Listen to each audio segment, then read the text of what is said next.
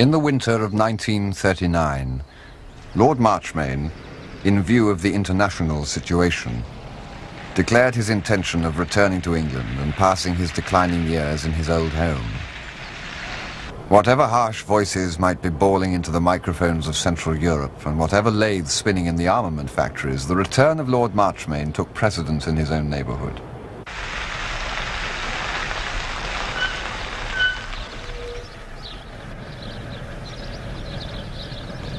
Julia and I, who had left Brideshead a month before, thinking we should not return, moved back for the reception.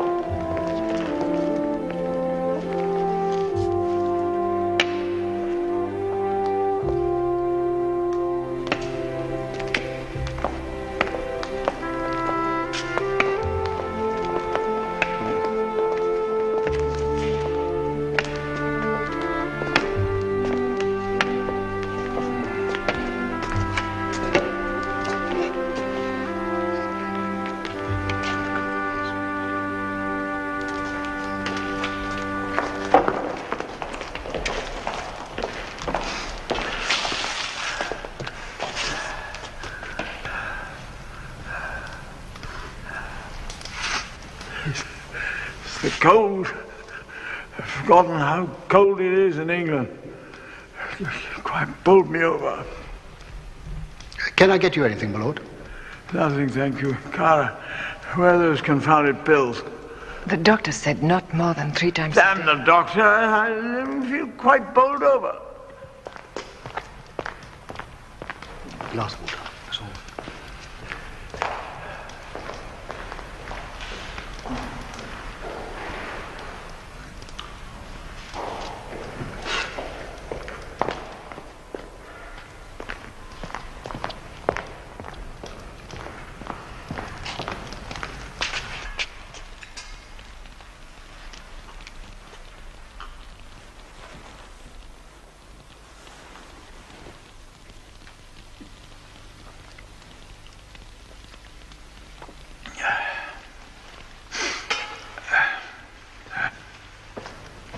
And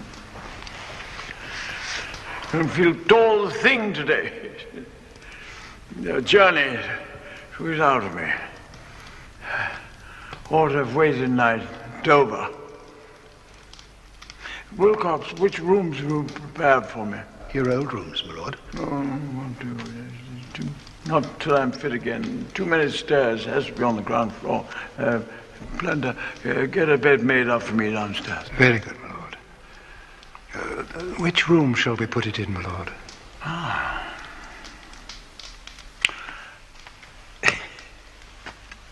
the Chinese drawing room. Very good, my lord. And Wilcox, the Queen's bed. The Chinese drawing room, my lord. And the Queen's bed.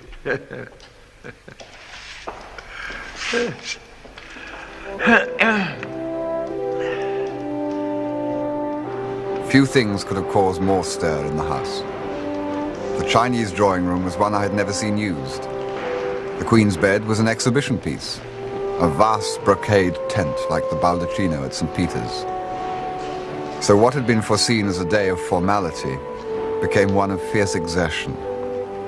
The estate carpenters were collected to dismantle the bed, and it came down the main staircase at intervals during the afternoon. Lord Marchmain seemed to derive comfort from the consequences of his whim, and as he showed no inclination to move, tea was brought to us in the hall.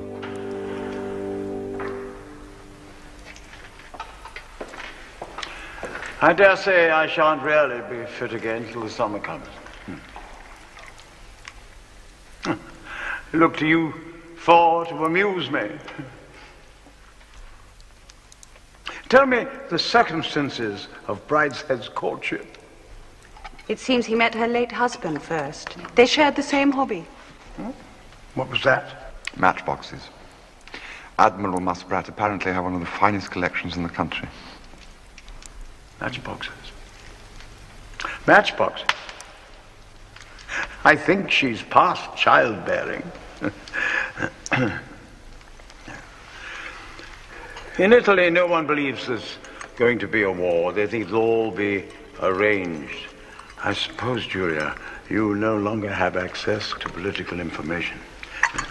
Uh, Cara here is fortunately a British citizen by marriage. It's not a thing she customarily mentions, but it may prove valuable. She is legally Mrs. Hicks, you know, my dear. we know little of Hicks, but we shall be grateful to her nonetheless if it comes to war. And you, you will, I suppose, be an uh, official artist? No, as a matter of fact. I'm negotiating now for a commission in the Special Reserve. Oh, oh you should be an artist. I had one with me during the last war for weeks, till we went up the line.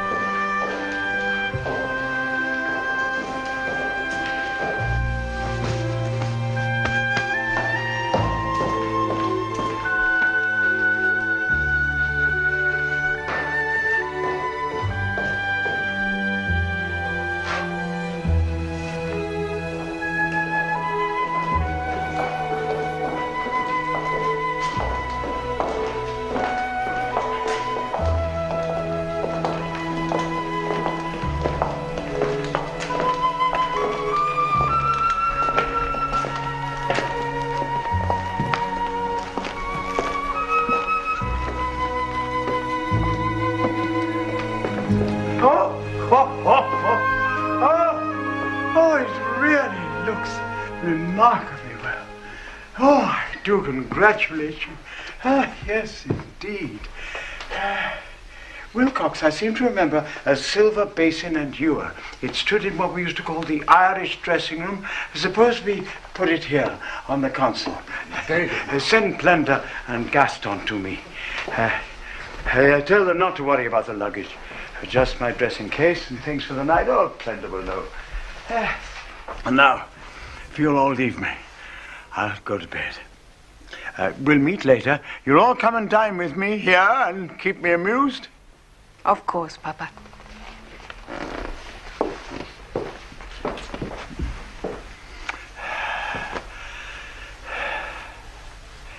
Charles, really looks very well, doesn't it? Very well. You might paint it, eh? Call it the deathbed. Did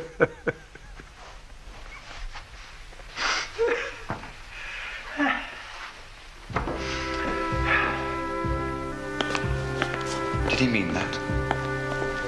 Yes, he has come home to die.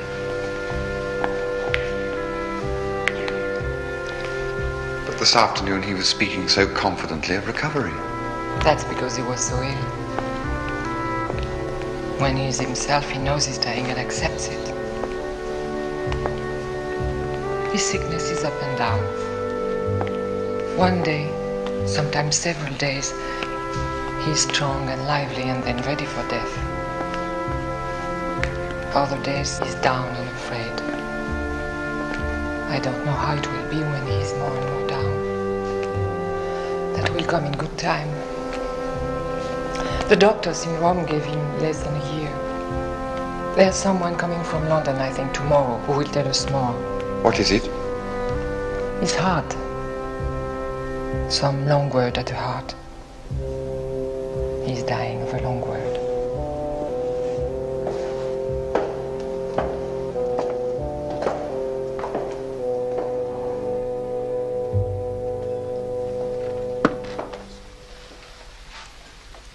I've not been much moved by family piety until now. But I am, frankly, appalled at the prospect of Beryl taking what was once my mother's place in this house.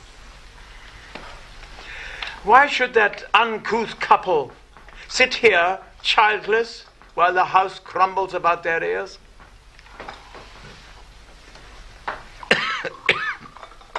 I will not disguise from you that I have taken a dislike to Beryl. Perhaps it was unfortunate that we should meet in Rome. Almost any other place would have been more sympathetic. Yet when one considers it, where could I have met her without repugnance? We dined at Ranieri's, a quiet little restaurant which I have frequented for years. No doubt you know it. Beryl seemed to fill the place. I, of course, was host. But to hear Beryl press my son with food, you would have thought otherwise. Brideshead was always a greedy boy. A wife with his best interests at heart would rather have tried to restrain him, but that's a matter of small importance. No doubt she had heard of me as a man of irregular life. I can only describe her manner to me as roguish. A naughty old man, that's what I was. I suppose she's met naughty old admirals and knew how they were to be humored. I will not attempt to describe her conversation. I will give you one example. They had been to an audience at the Vatican that morning, a blessing on their marriage. And do you know what she said to me? Lord Marchmain, she said. I felt as though it was I who was leading the bride. It was said with great indelicacy. I, I can't yet quite fathom what she meant. Uh, was she making a play on my son's name, or was she, do you think, referring to his undoubted virginity? I fancy the latter. I don't think she would quite be in her proper element here, do you? Who shall I leave it to? The entail ended with me, you know. Sebastian, alas, is out of the question. Who wants it?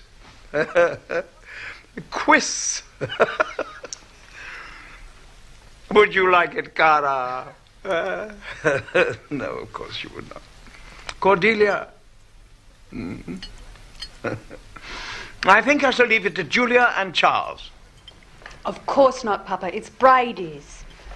And Beryl's. I shall have Gregson done one day soon and go over the matter. It's time I brought my will up to date. It's full of anomalies and anachronisms. I have taken a fancy to the idea of installing Julia here.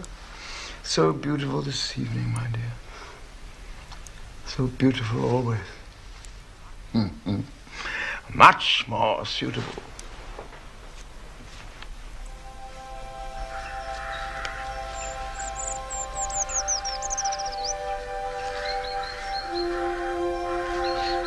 Think he really means to leave it to us? Yes, I think he does.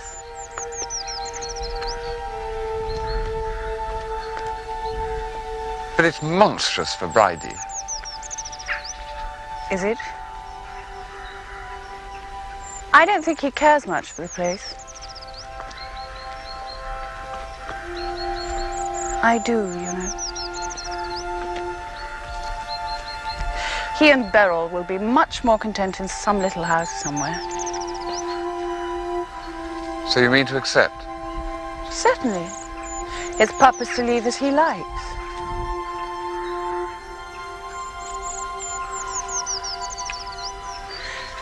I think you and I could be very happy here.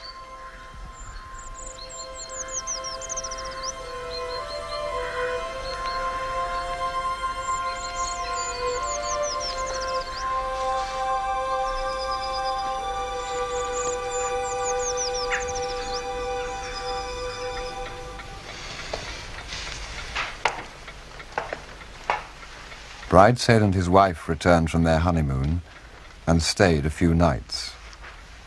It was one of the bad times, and Lord Marchmain refused to have them near him. Mr. Chamberlain opened his speech in Birmingham by saying that tomorrow he would attain his 70th birthday. And that as he felt still sound in mind and limb, he hoped he might have a few more years before him in which to give what service he could to the state. This remark was greeted with cheers. Shall I go on? Yes, do, if it's not boring you. Chamberlain, yeah, I knew him. Mediocre fellow.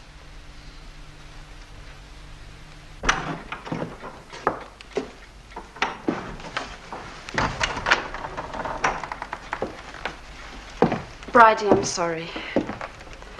He's terribly tired. He can't see anyone else today.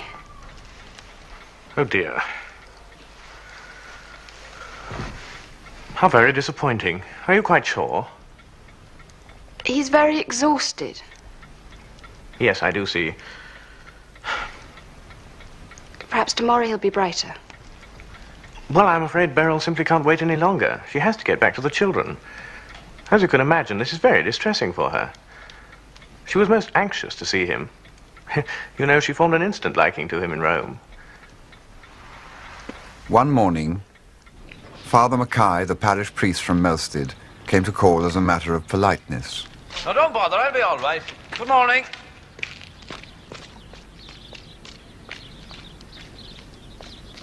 Cordelia put him off with apologies and excuses, but when he was gone, she said, Not yet.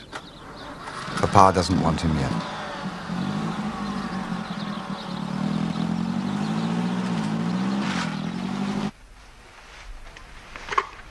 Charles, I see great church trouble ahead. Can't they even let him die in peace? They mean something so different by peace. It would be an outrage. No one could have made it plainer in his life what he thought of religion. They come to him now and his mind's wandering and he hasn't the strength to resist and claim him as a deathbed penitent. I've had some respect for their religion up to now, but if they do that, then I'll know that what stupid people say is true. That it is all superstition and trickery. And trickery. Hmm? I don't know, Charles. I simply don't know.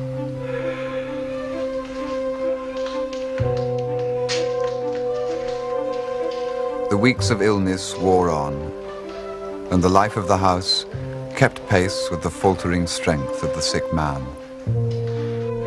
Oh, oh, oh, oh, no, no, it's too good. I don't believe it. I don't know. No. Cordelia, you didn't let me win on purpose, did you? Of course not, Papa. Wilcox says the painted parlour's ready. Oh. Do you really want to do oh. this? What's that, Julia? Well, Apparently, Papa told Wilcox this morning he wants to move to the painted parlour. well, well I, I've changed my mind. Why should you move? You're comfortable here. Mm, Where's she going? Where's she going? Don't worry, Alex. She's coming back. Do you want me to read to you? No.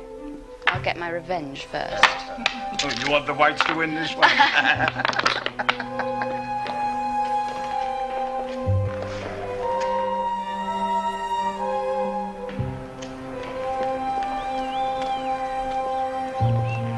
Once, at the end of February, he called for a car and got as far as the north front steps. Then suddenly he lost interest in the drive. no, not now. Later. Uh, sometime in the summer.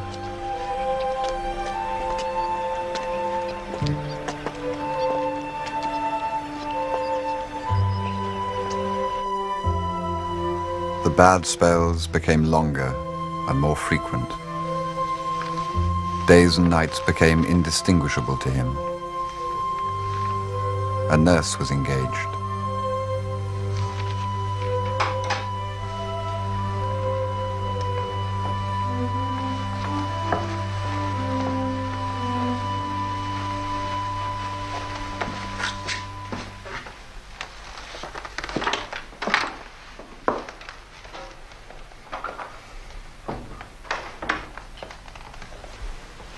Have a very serious complaint to make, Lady Cordelia. I've never seen such a room. Nothing like it, anywhere in all my experience. How can I possibly nurse his lordship in conditions like this? I must insist that my patient is moved where there's running hot water, a small narrow bed that I can get round, and a dressing room for myself. It's only what I'm used to. I'm sorry, nurse. We have tried, but it's hopeless. He won't be moved. Then I can't answer for the consequences.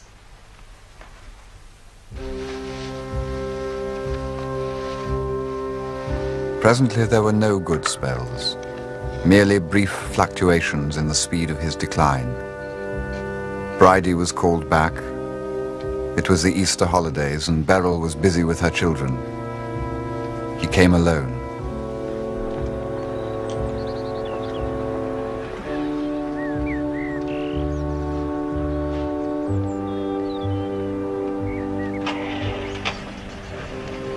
Must see a priest. Bridie, do you think he would? I shall see that he does. I've just asked Father Mackay to come tomorrow. I'll take him in myself.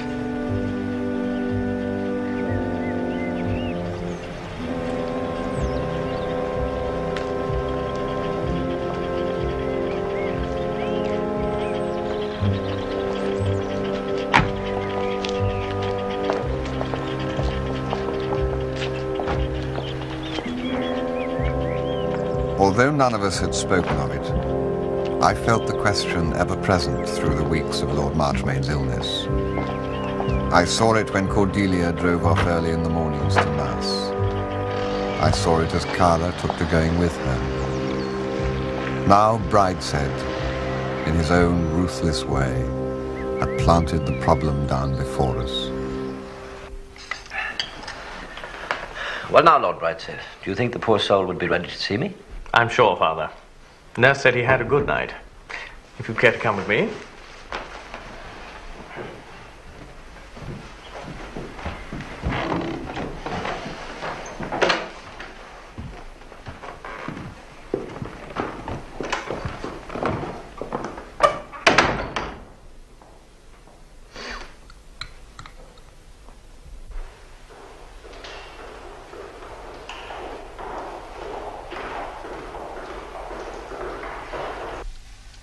This is so serious.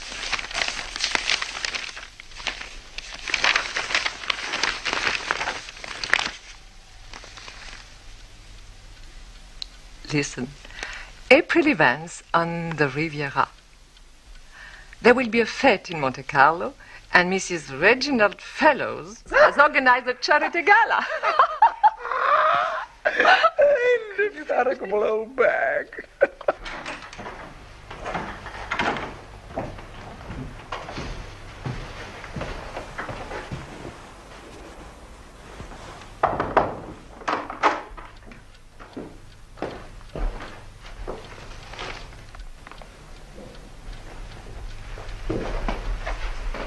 I've brought Father Mackay to see you, Papa. Who? Father Mackay, Papa.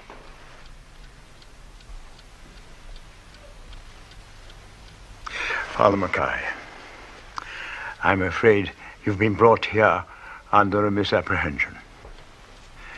I am not in extremis, and I've not been a practicing member of your church for 25 years. Brideshead.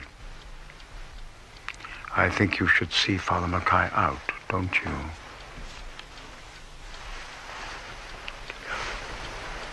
To go on reading, darling. Please.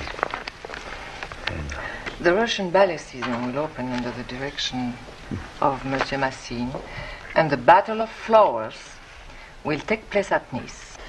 Father, I can only apologize. Poor soul. Mark you, it was seeing the strange face. You may depend on it, that's what it was. The unexpected stranger. Indeed, I can understand it well myself. I'm sorry, Father. It's wretched to have brought you all this way. Don't talk about it at all, Lady Cordelia. Why, I've had bottles thrown at me in the Gorbals. Give him time. I've known worse cases make beautiful deaths. Now, if you'll excuse me, I'll pay a visit to Mrs. Hawkins. I'll call again. Pray for him. You know your way, Father. Indeed, I do.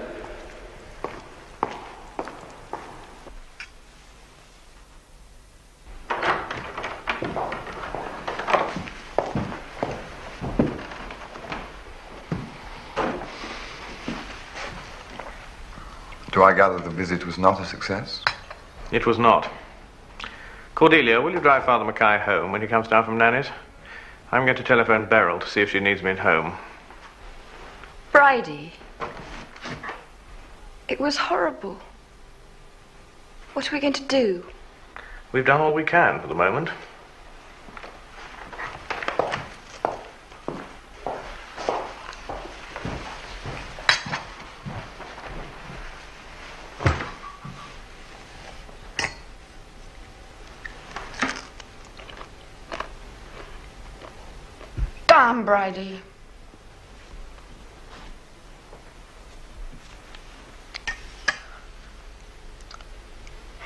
I knew it wouldn't work.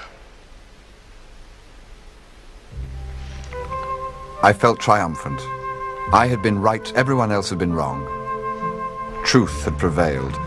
The threat I had felt hanging over Julia and me at the fountain had been averted, perhaps dispelled forever.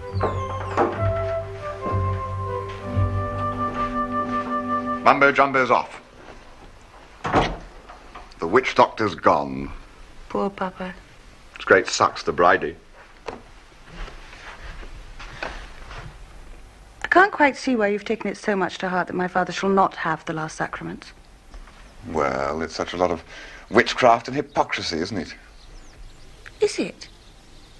It's been going on for nearly 2,000 years. I really don't know why you should suddenly get so excited about it now. Oh, for Christ's sake! Write a letter to the Times. Get up and make a speech in Hyde Park. Start a no popery riot. But don't bore me about it. What's it got to do with you or me whether my father sees his parish priest?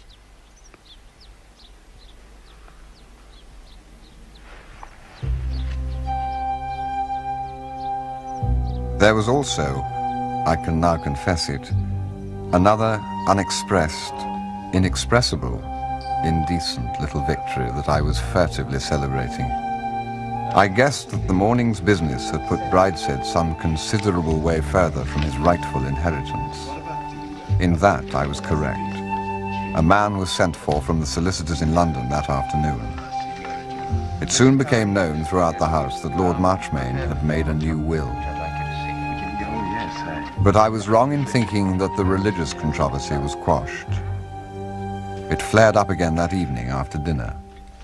What Papa said was, I am not in extremis. I have not been a practicing member of the church for 25 years. Not the church, your church. I don't see the difference. There's every difference. Bridie, it is perfectly plain what he meant. I presume he meant what he said. He meant he was not accustomed regularly to receive the sacrament, and since he was not at that moment dying, he did not intend to change his ways yet.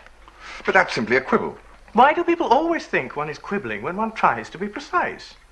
His plain meaning was that he did not wish to see a priest that day, but that he would when he was in extremis. I wonder if there's any more coffee. I wish somebody would explain to me what the significance of these sacraments is. Do you mean that if he dies without a priest, quite alone, that he goes to hell? And that if the priest is there and puts oil on him, No, it's not the oil. That heals him. odder still, well, whatever it is he does, that then he goes to heaven? Now, is that what you believe? I think my nurse told me, or someone did anyway, that if the priest got there before the body was cold, it was all right. That's so, isn't it? No, Cara, it isn't. Certainly not. You've got it all wrong. Do any of you Catholics know exactly what good you think this priest will do? Do you simply want to arrange it so that your father can have a Christian burial? Or do you want to keep him out of hell? I only want to be told. They're the same thing. To keep out of hell, as you put it, and to have a Christian burial, he must make an act of the will. He has to be contrite and wish to be reconciled.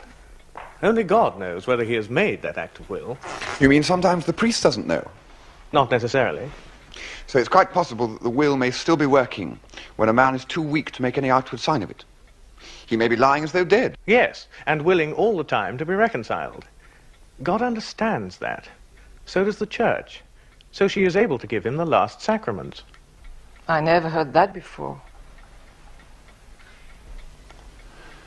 So, if the priest isn't there, and he makes the act of will alone, that's as good as if there is a priest, is that right? More or less. Well, for heaven's sake, what's the priest for?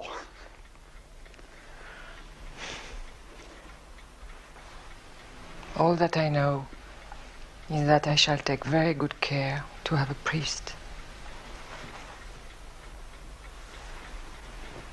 Bless you. I believe that's the best answer.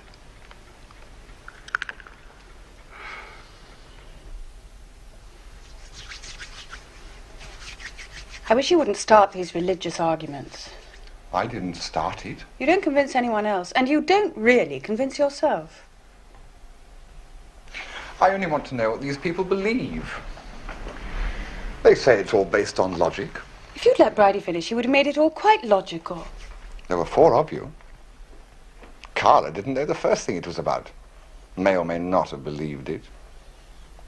You knew a bit and didn't believe a word. Cordelia knew about as much and believed it madly. Only poor Bridie both knew and believed. And I thought he made a pretty poor show when it came to explaining. And people go about saying, at least Catholics know what they believe. Well, we had a fair cross-section there tonight. Oh, Charles, don't rant. I shall begin to think you're getting doubts.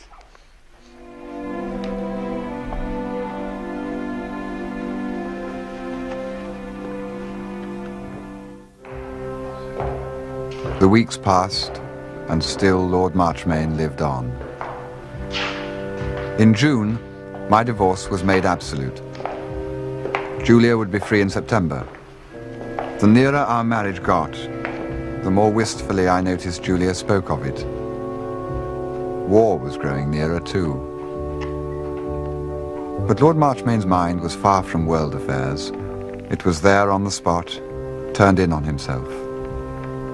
He had no strength for any other war than his own solitary struggle to keep alive. Better today. Better today? I can see now where the geese are flying over the lilies. Where yesterday I was confused and took the lilies for swans. Soon I shall see where the geese are headed when they gather to fly over the looking glass.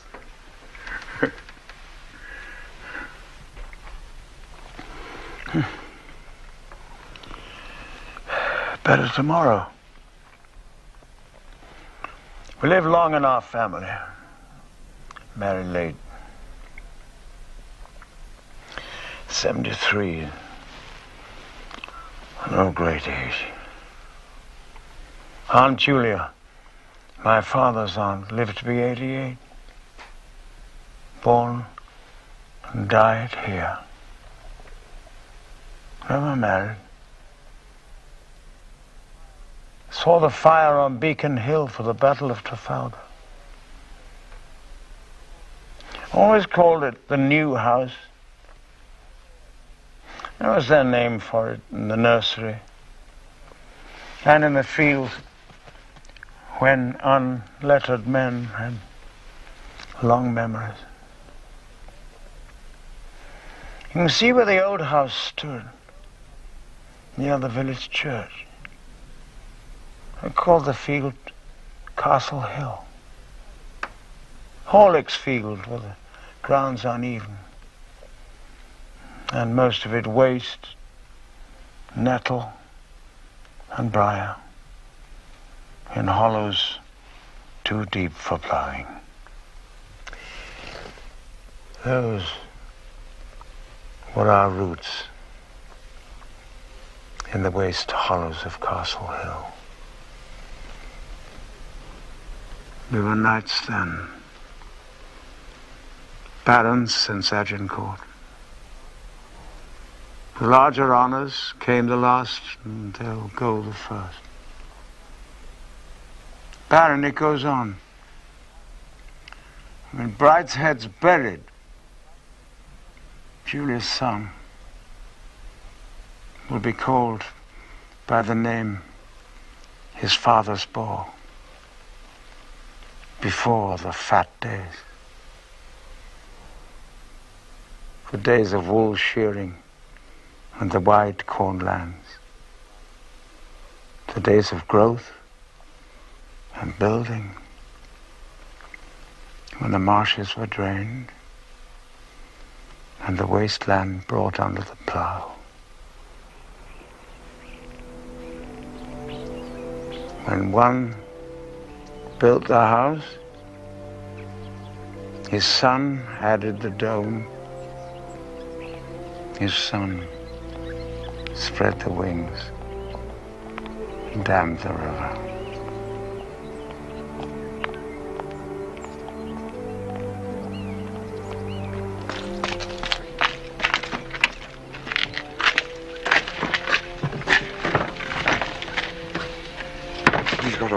Wonderful will to live, hasn't he? Would you put it like that? I'd say a great fear of death. Is there a difference? Oh, dear me, yes. He doesn't derive any strength from his fear. It's wearing him out. Goodbye, Mr. Ryder. Goodbye, Doctor. I'll call in tomorrow morning. Better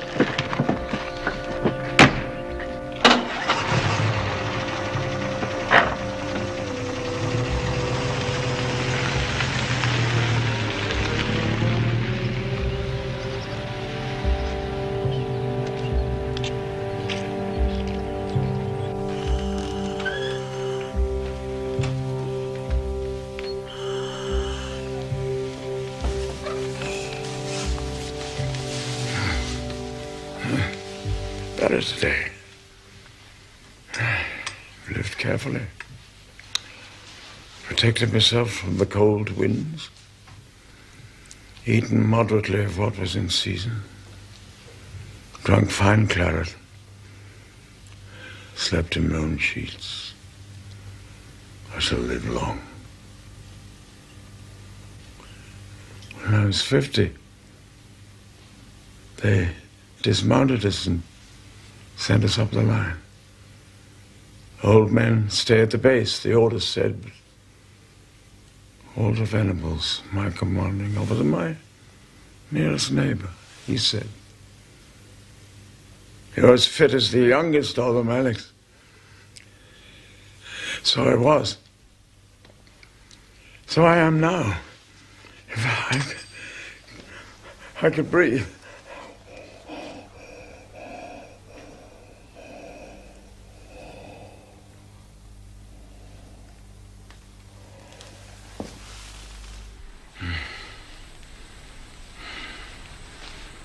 When summer comes, I shall leave my bed and sit in the open air, breathe more freely. When the wind comes down the valley, and the man can turn to meet it, fill himself with air, like a beast of water. God take it, wife. They dug this hole for me. The man stifled to death in his own cellar? Plender, Gaston, open the windows. The windows are all wide open, my lord. It's empty. Look, nurse, there's nothing comes out. No, Lord Marchmain, it's quite full. You can tell from this dial here. It's at full pressure. Listen, can't you hear it hiss? Now. Try and breathe slowly, Lord Marchmain. Quite gently. Then you'll get the benefit. There.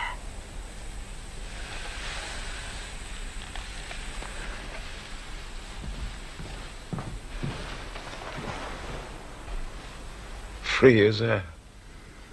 That's what they say. Free as air. Now they bring me my air in an iron barrel. I was free once. I committed a crime in the name of freedom.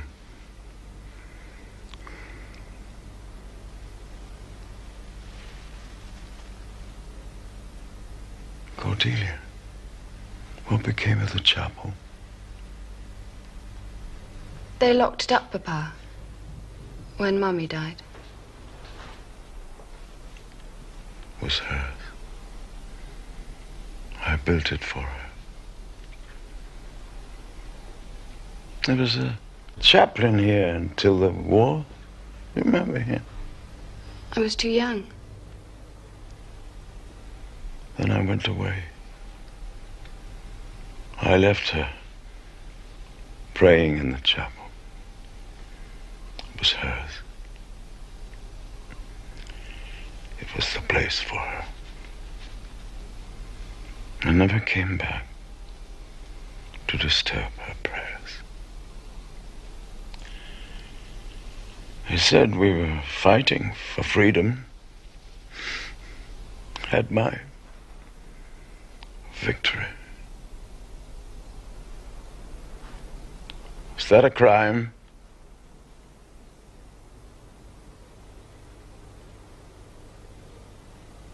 I think it was, Papa.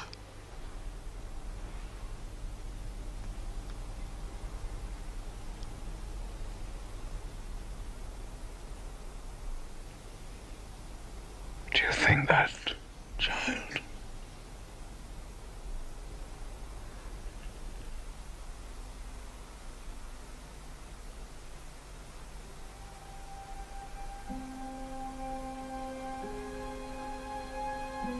Thus Lord Marchmain lay dying, wearing himself down in the struggle to live. Since there was no reason to expect an immediate change, Cordelia went to London to see her women's organization about the coming emergency.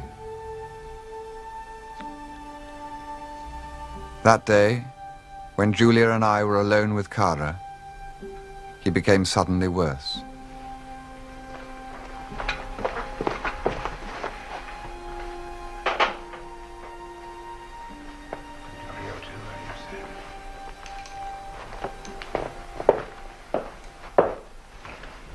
He dying? It's difficult to say. When he does die, it'll probably be like this. He may recover from the present attack.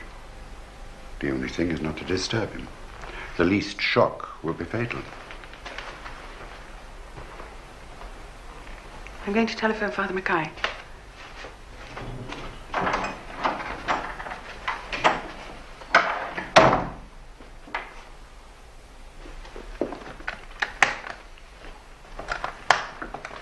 Dr. Grant, we must stop this nonsense. My business is with the body. It's not my business to argue whether people are better alive or dead or what happens to them after death. I only try to keep them alive. And you said just now that the least shock would kill him. What could be worse for a man who fears death as he does than to have a priest brought to him? A priest he turned out when he had the strength. I think it may kill him. Then you will forbid it. I have no authority to forbid anything. I can only give an opinion. Doctor. Excuse me.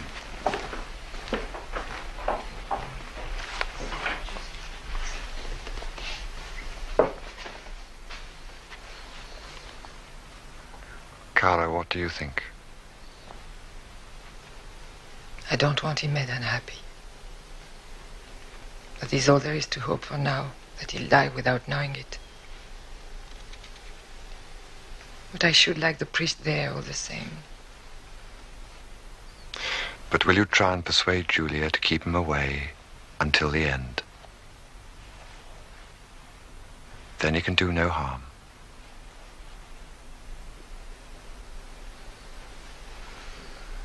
I will ask her to leave Alex happy. Yes.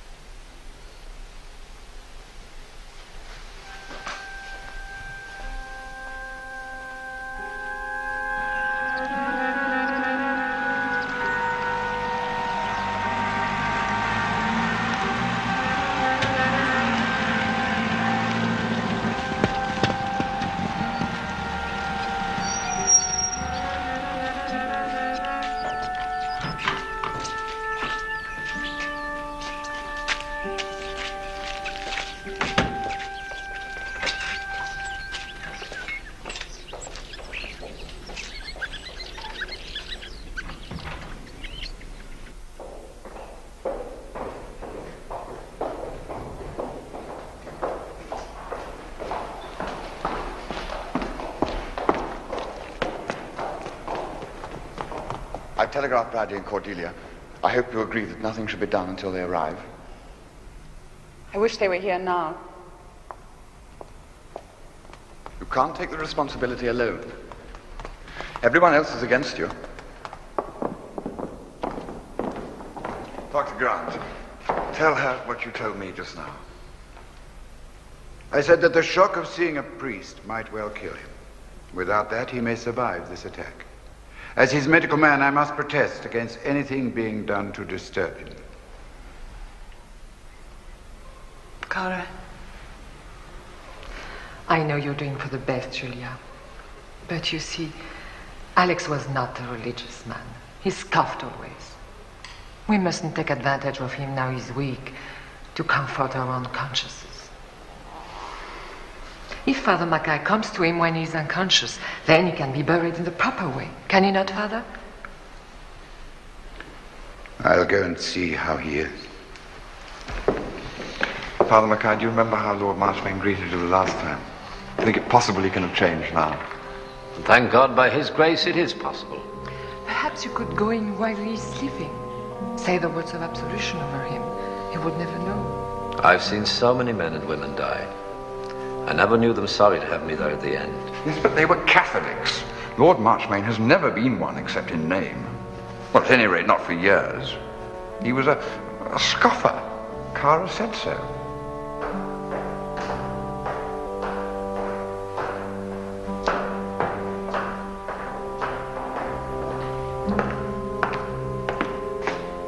There's no change. Now, Doctor, how could I be a shock to anyone? Do you know what I'm going to do? It's something so small, there's no show about it. I don't wear special clothes, you know. I go just as I am. He knows the look of me now. It's nothing alarming. Oh, Julia, what are we to say? Let me speak to him.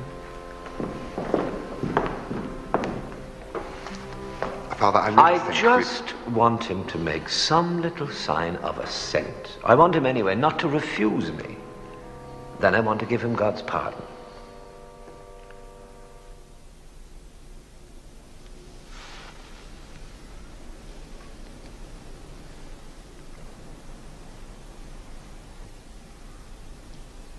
Alex?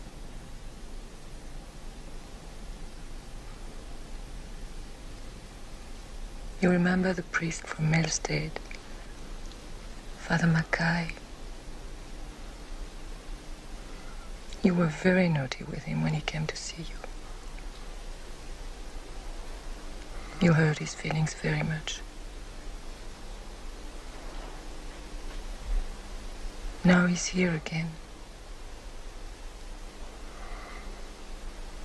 I want you to see him, just for my sake. To make friends.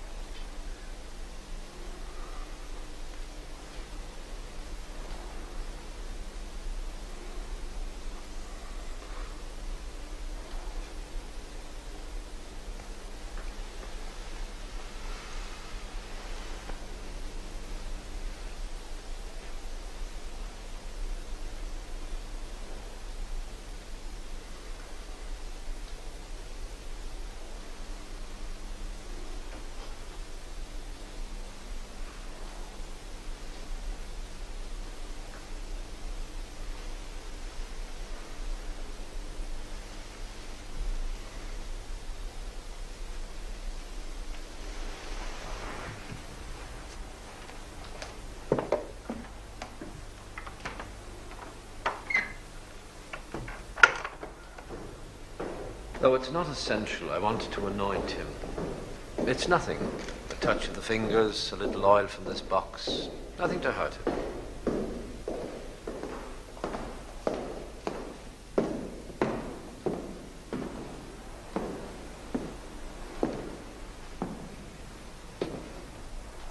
I don't think he heard me. I thought I knew how to put it to him. But he didn't answer me. If he is unconscious, it couldn't make him unhappy to see the priest, could it, Doctor?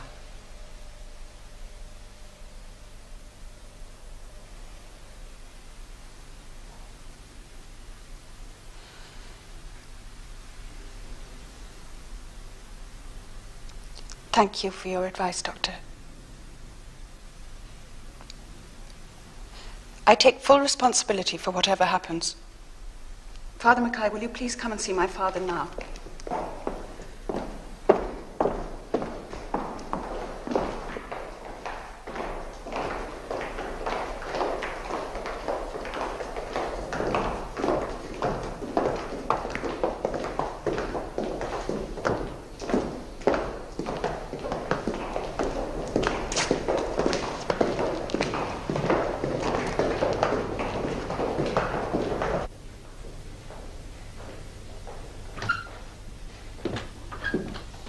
Ex week, domo week, ed omnibus habitantes in You won't disturb him now. Do you mean? No, no. It is past noticing anything.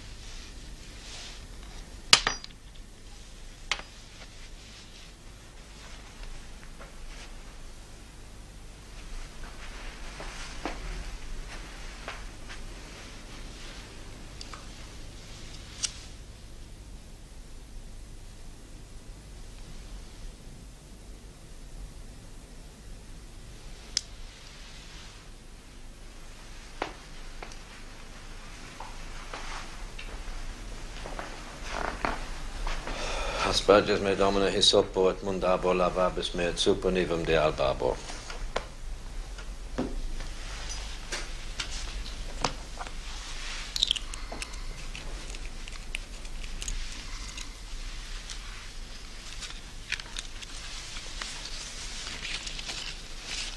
Now, I know that you are sorry for all the sins of your life, aren't you? Make a sign if you can. You are sorry, aren't you?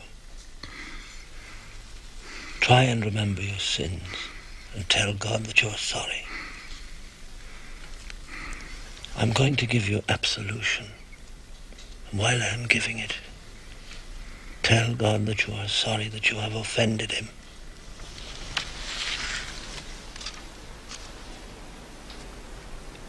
Ego te absolvo ab omnibus censuris et peccatis in nomine Patris. I recognized the words of absolution Amen. and saw the priest make the sign of the cross.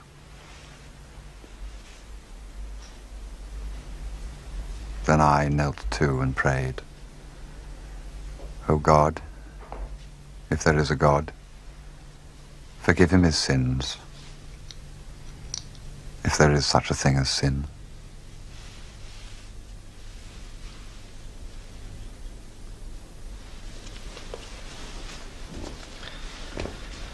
Christum sanctam unctionem et suam piesem misericordiam indulgia tibi Dominus quid quid deliquisti. Amen.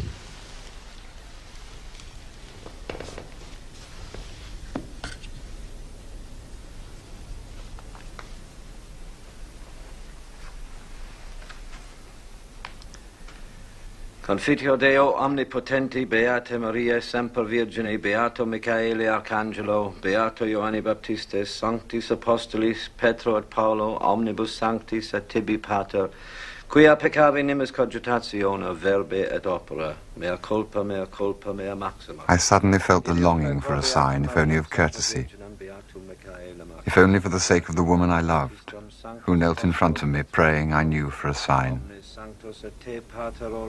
Seemed so small a thing that was asked, the bare acknowledgement of a present, a nod in the crowd. I prayed more simply, God, forgive him his sins, and please God, make him accept your forgiveness. So small a thing to ask. Ego facultate mihi ab apostolica sede tributa indulgentiam plenariam et remissionem omnium peccatorum tibi concedo, et benedico te in nomine Patris et Filii et Spiritus Sancti. Amen.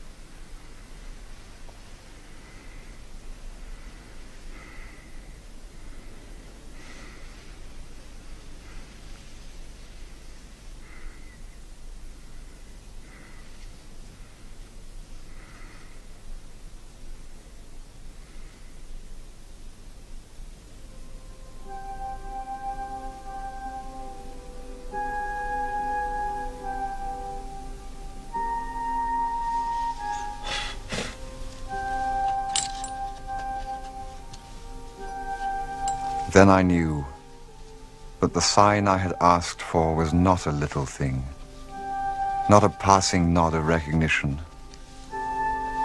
And a phrase came back to me from my childhood of the veil of the temple being rent from top to bottom.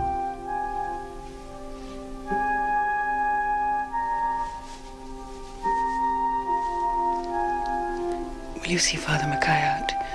I'm staying here for a little.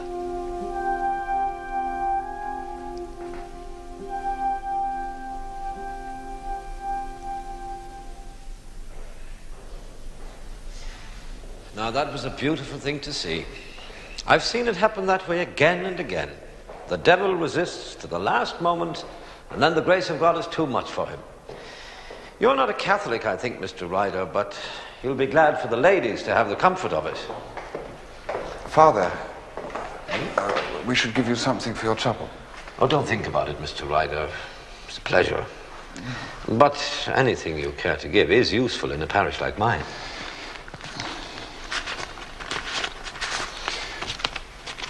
This all right? Well, that's more than generous, Mr. Ryder. God bless you.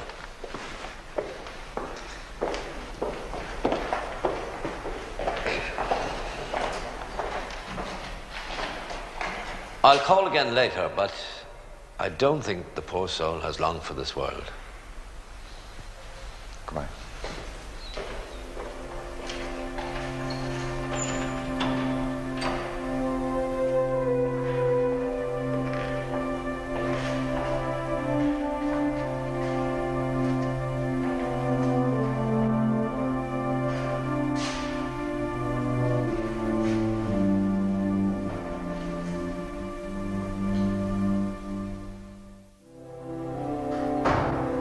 Julia remained in the Chinese drawing room until at five o'clock that evening her father died, proving both sides right in the dispute, priest and doctor.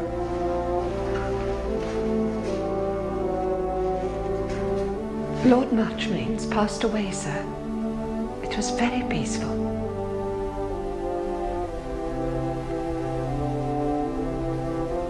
If you'll excuse me, sir.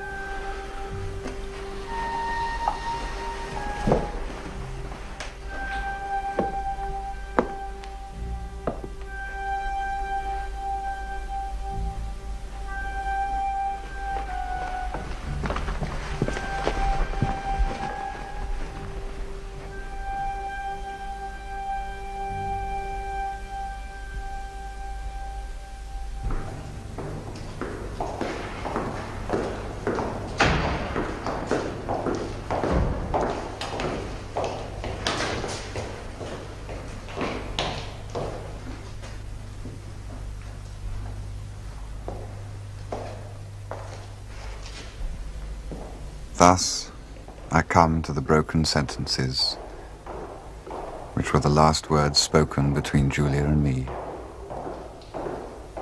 The last memories. While she was still upstairs, Brideshead and Cordelia arrived from London.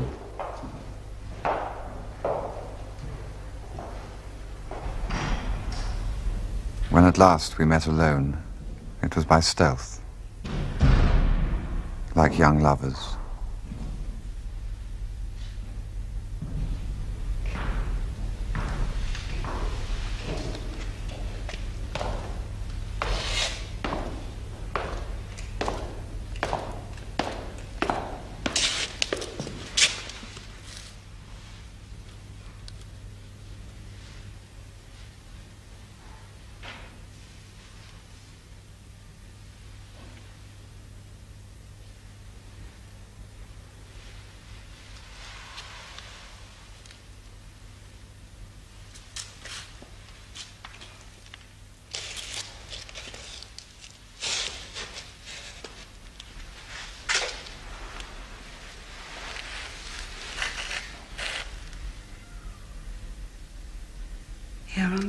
A minute to say goodbye. So long. To say so little.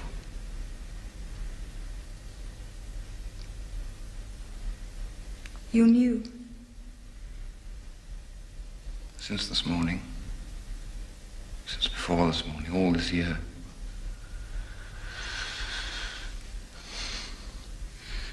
I didn't know till today.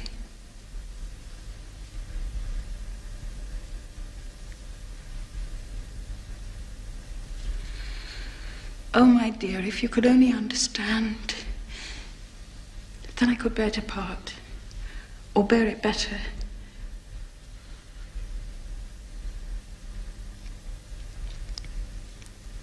I'd say my heart were breaking if I believed in broken hearts.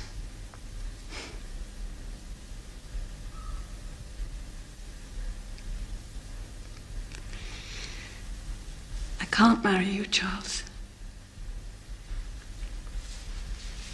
I can't be with you ever again. I know. How can you know?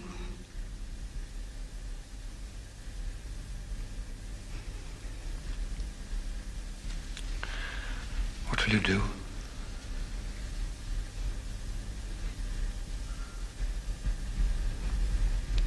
Just go on. Alone.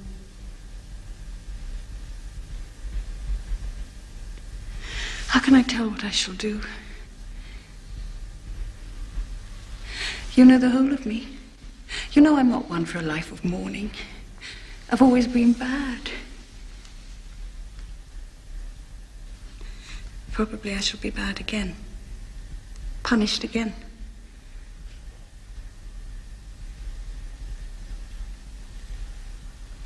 But the worse I am, the more I need God. I can't shut myself out from His mercy. That is what it would mean starting a life with you. Without Him,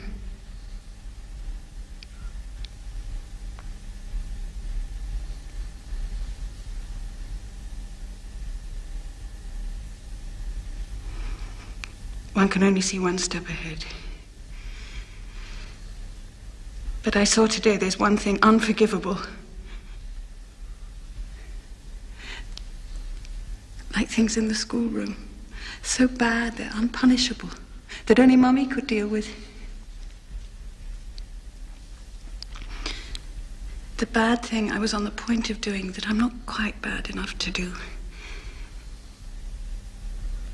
To set up a rival good to God's.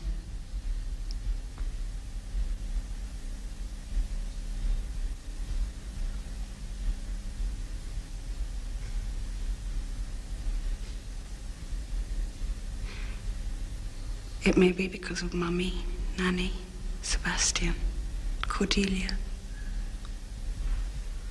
Perhaps Bridie and Mrs. Muspratt, keeping my name in their prayers.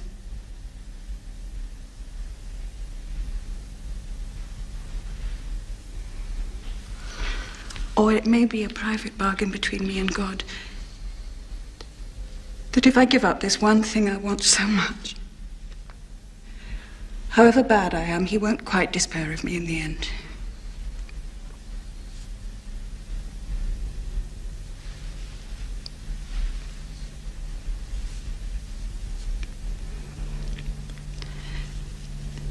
Now we shall both be alone. And I shall have no way of making you understand.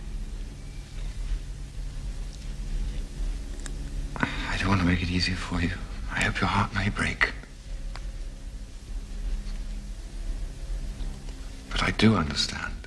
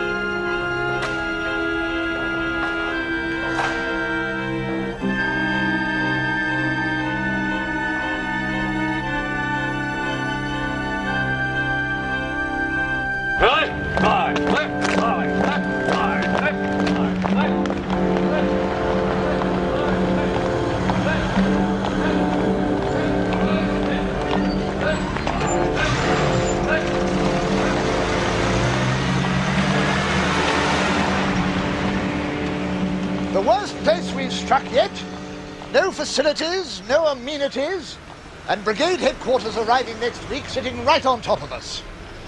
Marchmain, the town, is 10 miles away and damn all when you get there.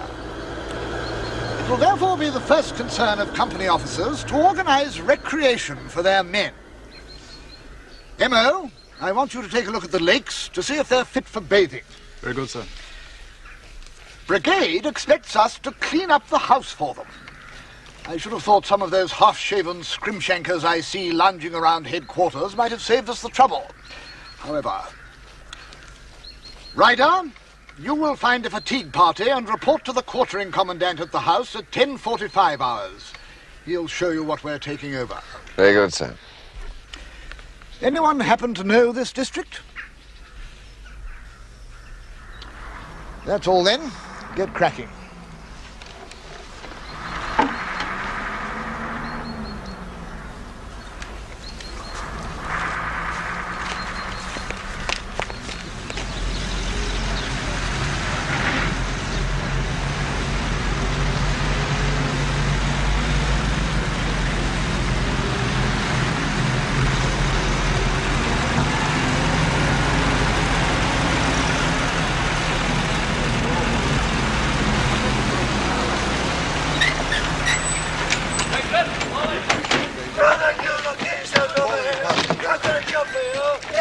Morning, sir. Morning. Fatigue party reporting for duty. Well done. Ah, it's a wonderful place in its way. Pity to knock it about too much. Come in, I'll show you over. Thank you, sir. It's a vast warren, but we've only requisitioned the ground floor and half a dozen bedrooms, so everything else upstairs is private property.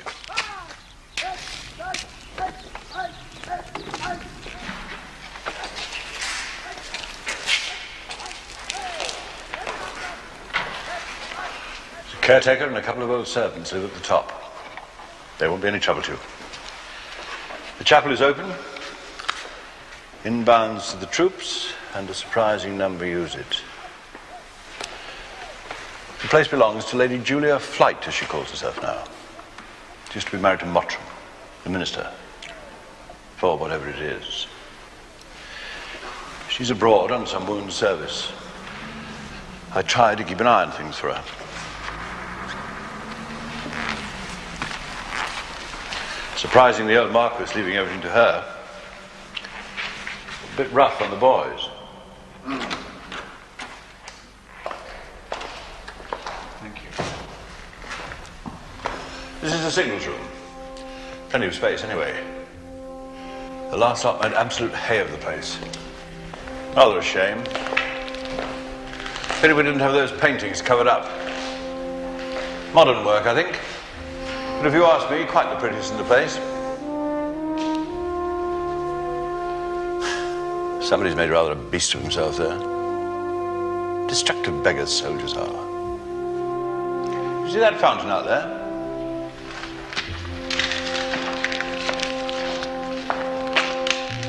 A rather a tender spot for our landlady.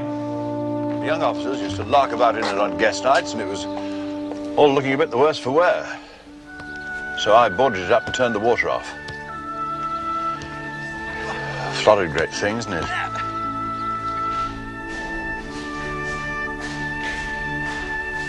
Oh, they put the Clarks in here. Don't know why, really. It gets bloody cold in winter.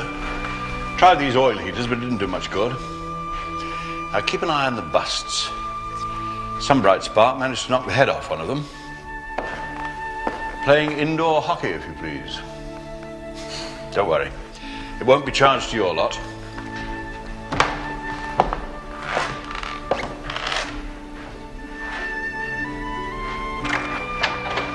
I'd advise you to give this room to the Brigadier for his office.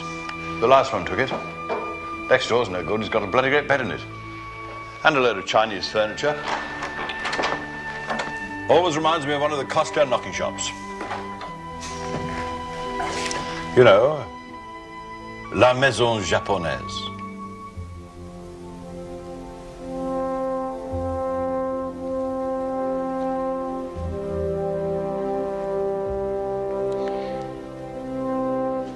I'm only here to clear up.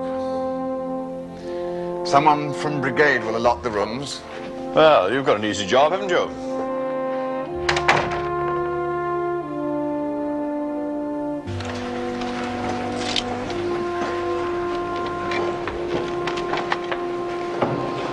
Well, if you've seen everything I'll push off. Good day to you. Good day, sir.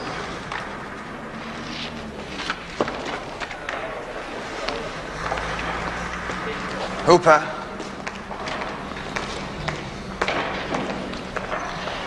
Is there any chance I can safely leave you in charge of the working party for half an hour? I was just wondering if we could scrounge some tea. For Christ's sake, you've only just started. They're awfully browned off. Keep 'em at it. Right, Rightio. Go and get the uh, last four crates out of the truck, will you? Now, what about this other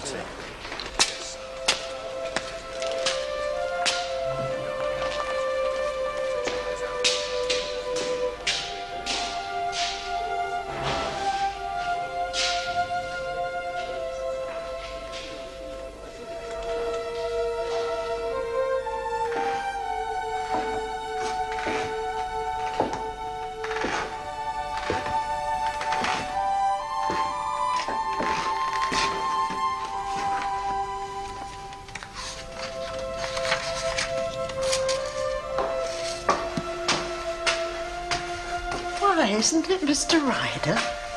It is. I was wondering when I'd meet somebody I knew. Mrs. Hawkins is still in her old room. I was just going to take her some tea. I'll take it for you. Very good, sir.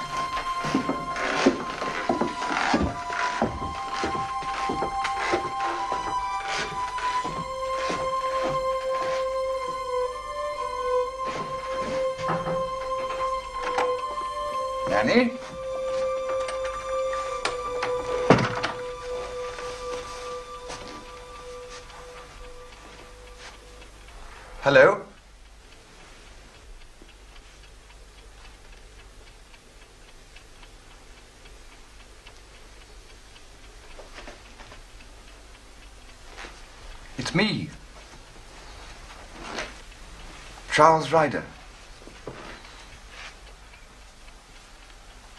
Do sit down, Nanny. I brought your tea.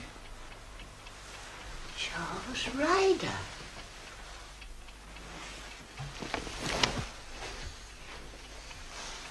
Lady Julia's not here. Only myself here and the two girls and poor Father Membling, who was blown up. Not a roof to his head, not a stick of furniture, till Julia took him in with the kind heart she's got, and his nerve something shocking. Oh, did you listen to Mr. Mottram last night? Oh, very nasty about Hitler he was. I said to Effie, the girl who does for me, I said, if Hitler was listening and if he understands English, which I doubt, he'll feel very small.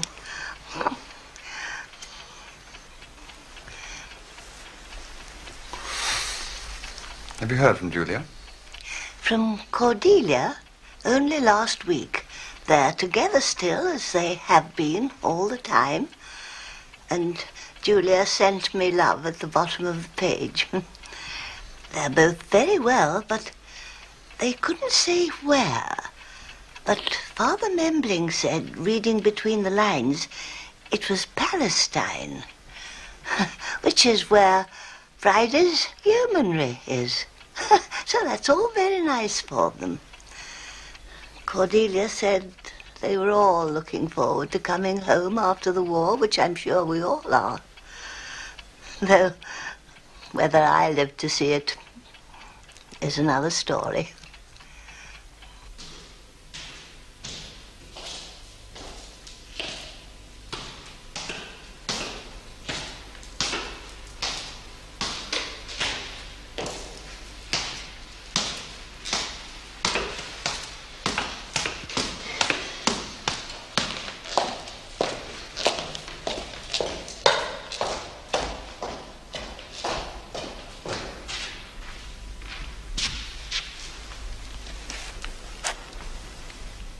Where are the men, Hooper? Well, they uh, had to go off to draw the bed straw. I didn't know anything about it till Sergeant Block told me. I don't know whether they'll be coming back. Don't know. What orders did you give? Well, I, I told Sergeant Block to bring them back if he thought it was worthwhile. If there'd be time between now and dinner. You've been hotted again, Hooper. That straw wasn't to be drawn till six this evening. Oh, Lord. Sorry, Ryder. It was Sergeant Block. No, it was my fault for going away. Fall in the same party immediately after lunch, bring them back here, and keep them here until the job's done. Right here.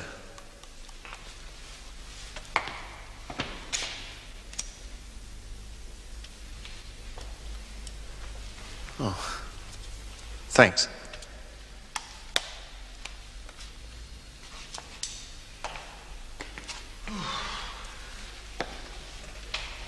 I say, did you say you knew this place before? Yes, very well. It belongs to friends of mine. Doesn't make any sense. One family in a place this size? What's the use of it? I suppose Brigade find it useful. That's not what it's built for, though, is it? No. It's not what it was built for. Maybe that's one of the pleasures of building. Like having a son, wondering how he'll grow up. I don't know. I've never built anything. And I forfeited the right to watch my son grow up.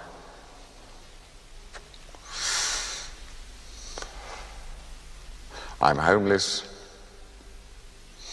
childless, middle-aged, and loveless, Hooper.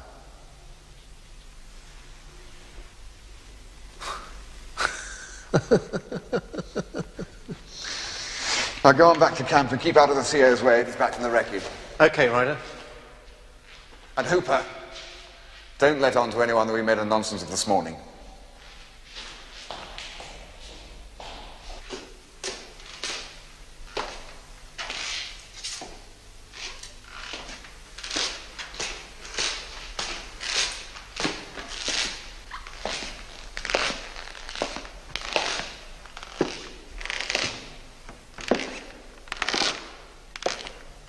The chapel showed no ill effects of its long neglect.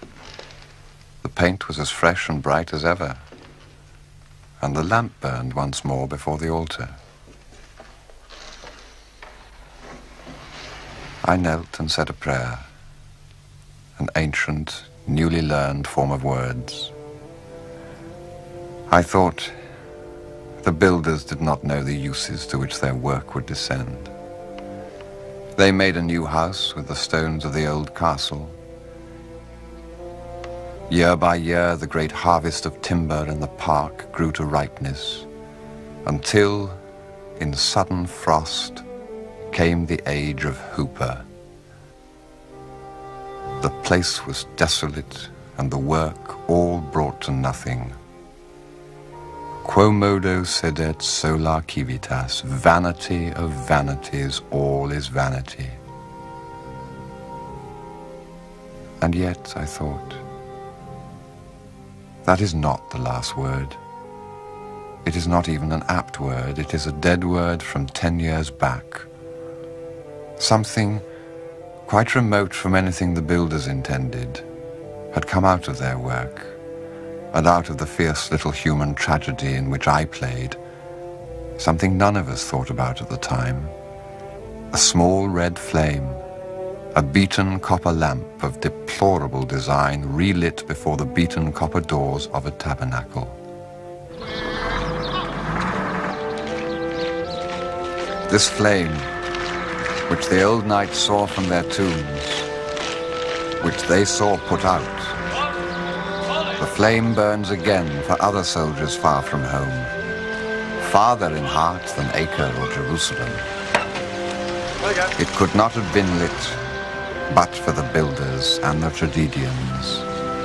And there I found it that morning, burning anew among the old stones. Morning, Ryder. You're looking remarkably cheerful today.